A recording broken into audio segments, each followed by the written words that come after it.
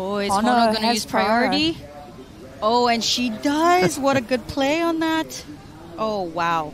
Oh, Oh, wow. wow. That's commentating. Wow. Wow. Wow. I'm speechless. That, that was deserving of about four or five wows. Yeah.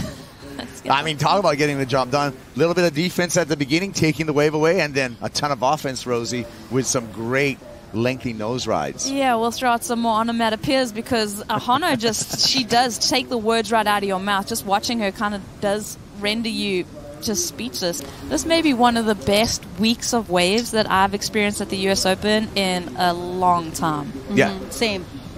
I, I haven't seen waves like this in a while at Huntington. Honolua. I mean, under priority, picking off one, utilizing the entire length of the board, Megs, graceful as ever. And that's a, the beauty of this priority system is she probably just got another excellent scoring ride under priority. Yeah. And don't count Avalon out because she is a great goofy footer and she's gonna. I can almost guarantee you she'll shoot the pier like she did yesterday. Our three time world champ, Honolua Blomfield, she's on to the quarterfinals. She's with AJ McCord. Honolua, congratulations. That was a beautiful heat to watch unfold. What was your strategy heading into it?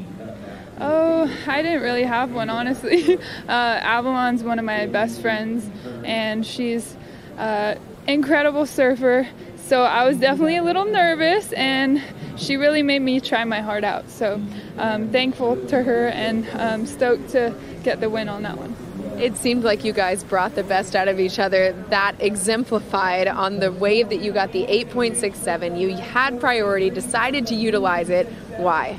Uh, well, I was kind of waiting out there. Uh, use or I hadn't used my priority. You know, waiting for the best wave. That's what priority is kind of for.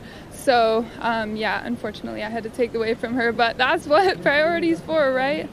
So. And you did a beautiful, like, parked with confidence, is how Auntie Meg said it. What did you see on that wave? Oh, actually, before my heat, she told me just go out there and park it. Oh no! So I went and parked it for her. I guess. I mean, I'm surprised I pulled it off, but yeah, I'm stoked. Didn't expect that one. As you should be. Congratulations. We'll see you in the quarterfinals. Thank you.